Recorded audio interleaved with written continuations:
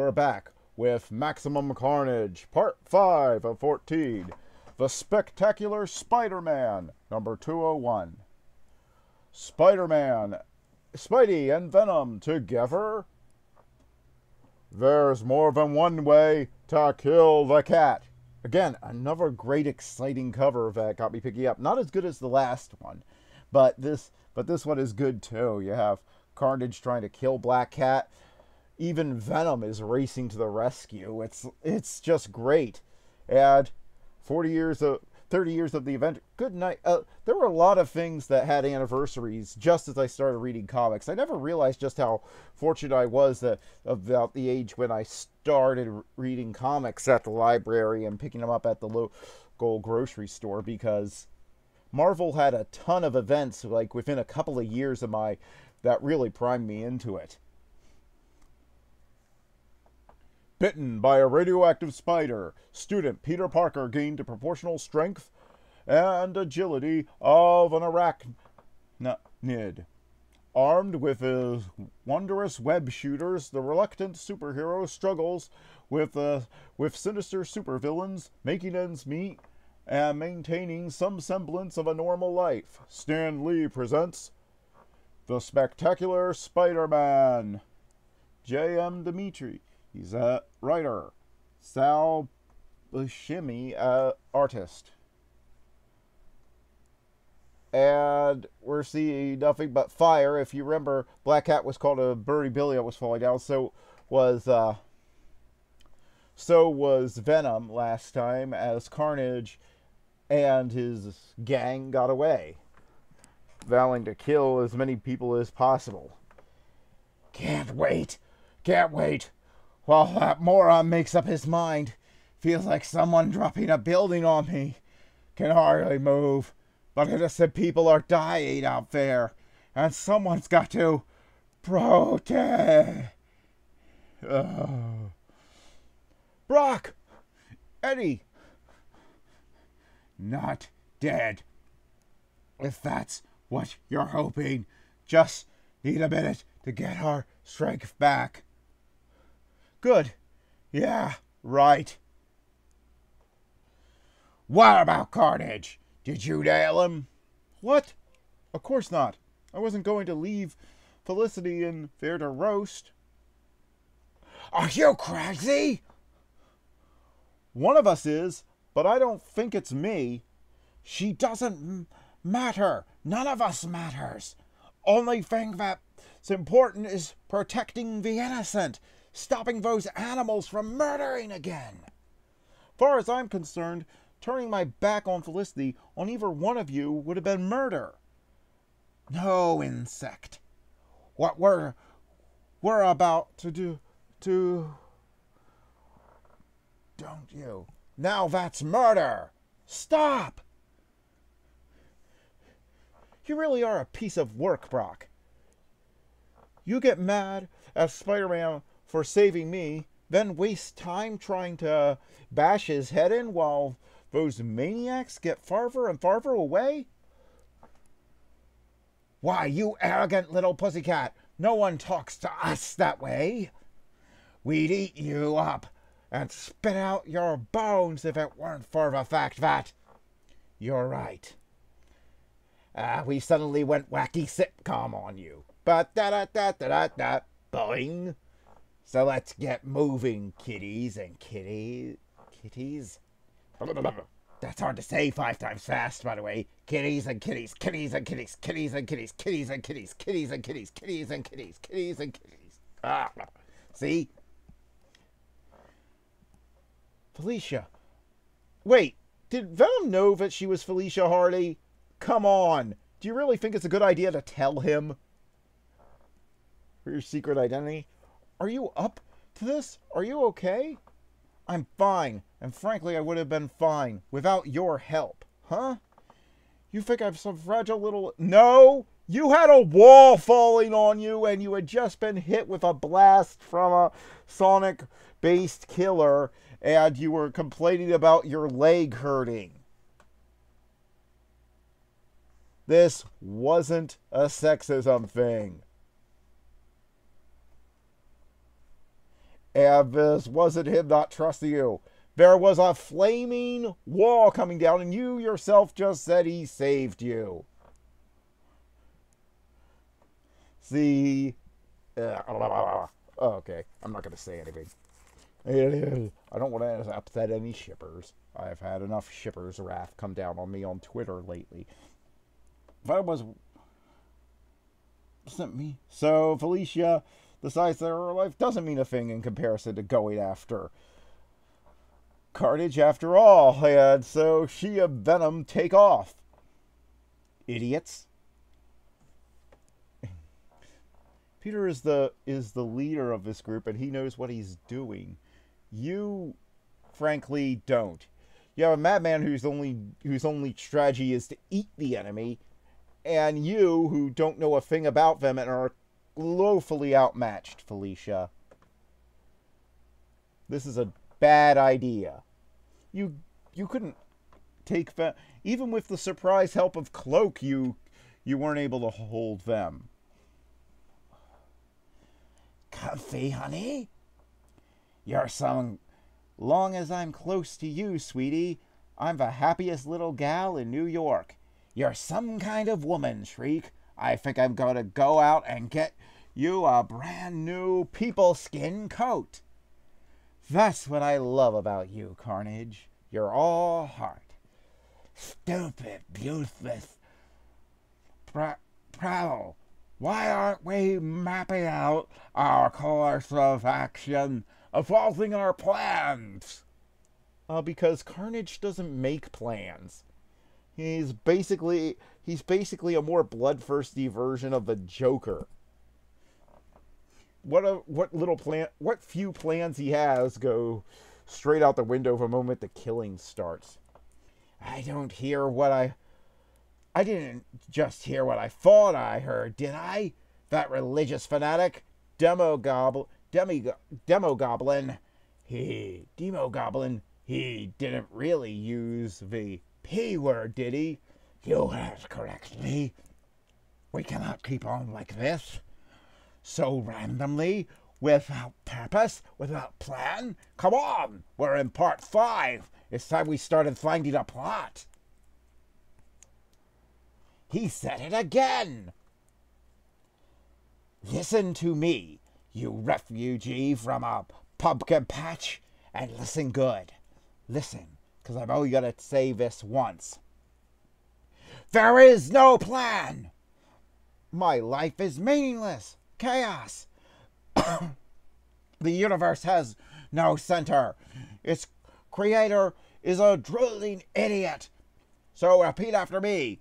The only purpose is no purpose. The only plan is no plan. now I'm gonna get that Harvey Dent. I mean, Spider Man. I forgot which Lord of Chaos, which type of chaotic villain I was for a minute there. I reject your twisted gospel, Carnage. The universe is nothing but pattern and plan. A plan veiled from us by the sins of a corrupted world. What? Thought you understood what our little carnage carnival was all about. I thought that's why you signed on with rolling with rolling the rolling this rolling thunder revue. I signed on because mankind is thinking with sin and enjoying forces with you. I can redeem it, purifying it with fire and blood. Now I warn you, unhand me or Garoosh.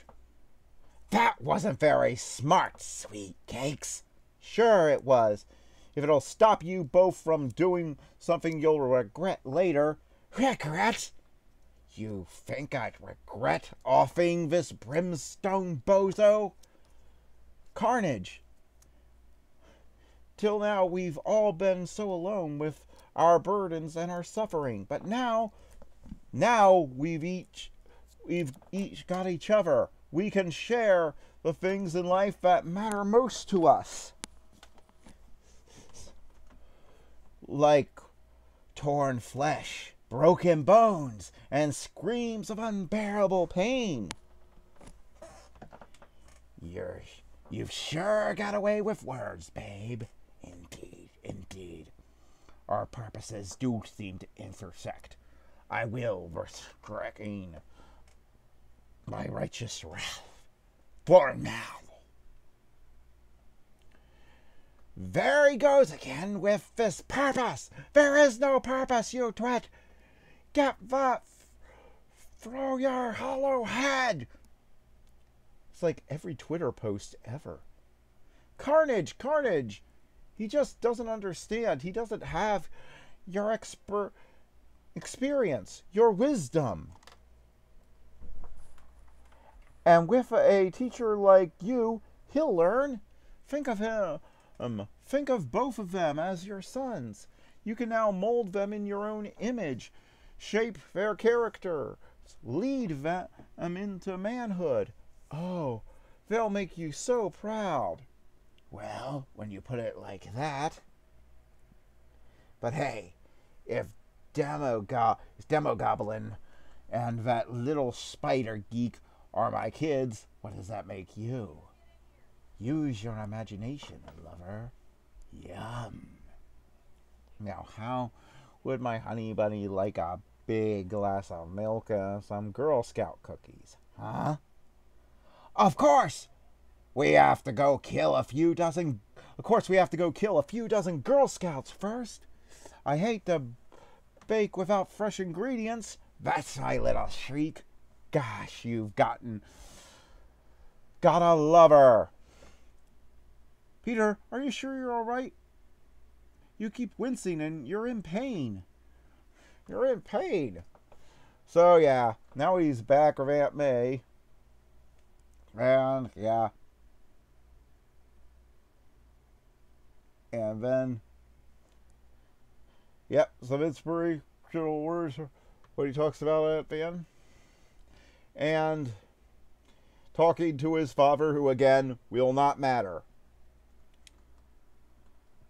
and uh, then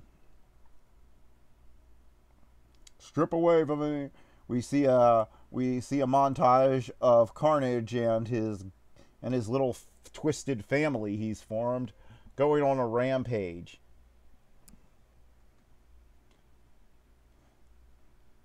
And then the demigod blows up a helicopter, and, well, yeah, everything's falling apart.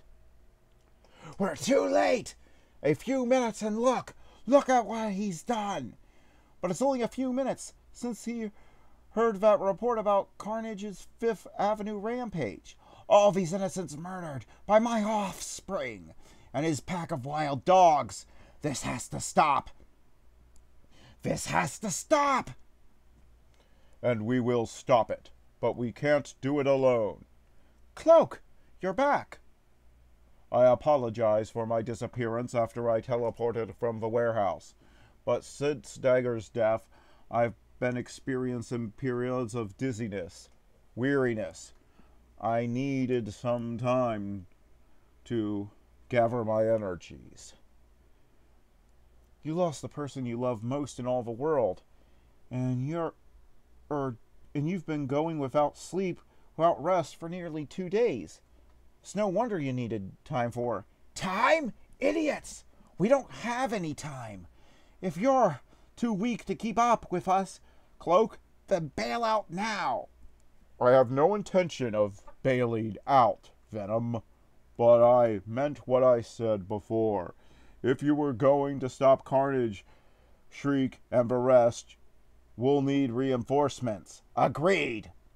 We'll reinforce the top, the toughest, most vicious bunch. We'll recruit the toughest, most vicious bunch of fighters we can find, and we'll crush Carnage's gang like the cockroaches they are. But remember, Kasady is mine. But uh, and uh, but honey, I heard this was a wonderful restaurant. Wonderful tofu and steamed vegetables. You call that wonderful? Yeah, I'm with him. Shut up. You never get to pick a restaurant again. Uh, sir, if you don't like it, you have uh, allegedly take it back to the kitchen. I'll have ugly take it back to the kitchen. Don't bother, punk. As the Romans often observed, if you don't like the food, kill the waiters. Uh, yeah, I. Sorry, you were disappointed, honey, but lots of band guys I used to hang with in my group, in my in groupie days, eat here. Don't sweat it, sweet cakes. I had fun slicing and dicing all the customers. The only thing to do with vegetarians, really. But if we don't find some something to eat soon, I'm gonna get all narpa, narcolep. I, oh, glycemic. And when that happens, well, I start to get real testy. While we waste our time here, the word of our colony has spread. The streets are near deserted. The sinners are dying. We must root them out, make them suffer, make them burn. For once Vincent Price here is right. We gotta find some greener pastures, huh? Eh, you keep out of this. Don't yell at the boy, dear. Sorry, Snookums. It's just that something sometimes being a father is such a thankless job. Then let's do something to cheer you up. Gothing? Nope. A hike in the country? Uh-uh. Slaughter and mayhem? Bingo! Then let's gather up the kiddies and get to the station wagon and be on our way. You know, Carney, I'm really beginning to like family life. Me too. Now I know what I was missing all those years in the orphanage. Well, honey, if being a hubby and daddy really turns you on, maybe we should have a few more kids. Seeing Dad like that made me realize the kind of pain he and Mom have been carrying around since they came back into my life. Uh, yeah, you might not want to think too much about that. It's not worth your time, Pete. Really, it's not. I've been so busy worrying about my feelings that I haven't really taken the time to consider what they are going through. The look in Richard's eyes, he really must have gone through a living hell for it have left him so angry so unbelievably bitter, I can't blame him for seeing the world through such a distorted mirror. But what if it's not so distorted? What if he's right about human nature? Let's face it, Carnage and Shriek are pretty strong arguments in his favor. No, I refuse to accept that. And that's the heroic Spider Man I know. As I said in the last review, this is the Spider Man we need back. If they want to save comics, Bring back this Spider Man. I've weathered a lot harder times, been face to face with my own fair share of devils, and I've managed to stay true to Uncle Ben's faith in people. Sure, there are some really twisted souls out there, the Kravens and the Doc Ocks and Venoms, but the average people I've dedicated my life to protecting, the Aunt Mays and Uncle Bens of the world, have never let me down. And uh, as if on cue, uh, complete chaos has broken out. Please stop! You're killing me! That's the general idea, pal. Now you just lay there nice and quiet. Ah! While you get your lights knocked out. Don't worry, I'll get you to a hospital. No chance. The whole city's gone crazy. Since that nut carnage has been loose, it's like every bloodthirsty lunatic in New York has come crawling out of his hole. You can't stop them. Nobody can stop them. He's right about one thing. It's as if all these crazies have been inspired by Carnage. If just seeing him in action has set loose the darkest parts of their psyches. And if this is response is really starting to spread, then nobody's safe. Listen to me, all of you. You've got to stop this. You can't use everything that's been happening as an excuse to throw the, the law, common decency out the window. Do you hear me? You've got to stop. Okay, You want to act like devils? Then I'll treat you like devils. I'm tired of always holding back, being cautious, trying so hard to draw a moral line that no one even sees anymore. From here on, I'll do whatever it takes to keep this city from going down in flames. And you hear me? From this moment on, you'll get no mercy from Spider Man. And that to me is the most chilling cliffhanger of any Spider Man story ever. Yeah, to me it is. He's he's actually crossing the line and becoming everything he hates about Venom and he's and he's tempted to give up his morals. And when you see that, that is just more chilling than anything that's happening. To me, to me, this plays out a lot like The Dark Knight and The Dark Knight Rises. It it does a great job. It has that same look into the dark looking into the dark part of humanity and into society, but the but the hero can't cross the line. Even if even if it means even if he thinks that it will save everyone and that it's really a battle for the hero's soul. And that is uh and so when he made so when he says this it's just the most chilling and just it is I think the best cliffhanger in all of Spider-Man comics and maybe my favorite and one one of my favorites if not my favorite cliffhanger in all of comics. And this comic does a great job with the character work. It juxtaposes Carnage's family coming together with Peter's family falling apart and him losing his allies. And yeah, the cover was pretty much a lie since Black Cat doesn't get doesn't get since Carnage doesn't try to kill Black Cat at any point in this comic, but what it does have is even better. I give this a 9.5 out of 10. This is just a great comic book issue through and through.